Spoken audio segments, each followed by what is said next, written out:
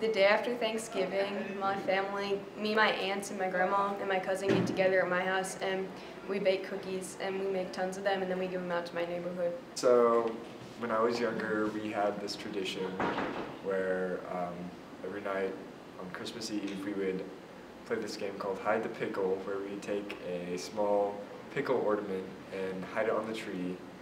And um, basically we would go back and forth, people um, hiding it and finding it, um, and then whoever finds it on Christmas morning gets sent the first gift.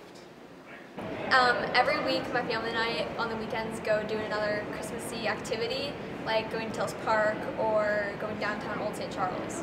For uh, probably 20 some years, we would always go the day after Thanksgiving.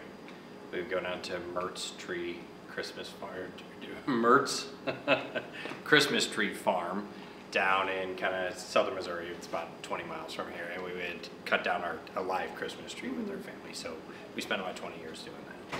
Every Thanksgiving, my family and I kind of ring in the Christmas season and we watch Elf. So for Thanksgiving, normally um, on Thanksgiving Day we go to the movies, and um, the next day we go to the uh, like a jumping place, and we normally go out of town for Thanksgiving.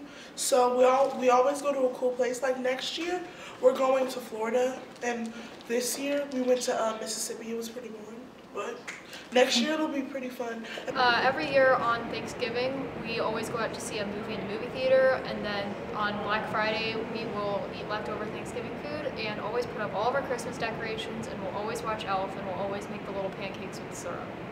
Uh, and we have like a kind of silly rule in our family where you're not allowed to touch any Christmas decorations unless you're wearing a hat and there's Christmas music playing.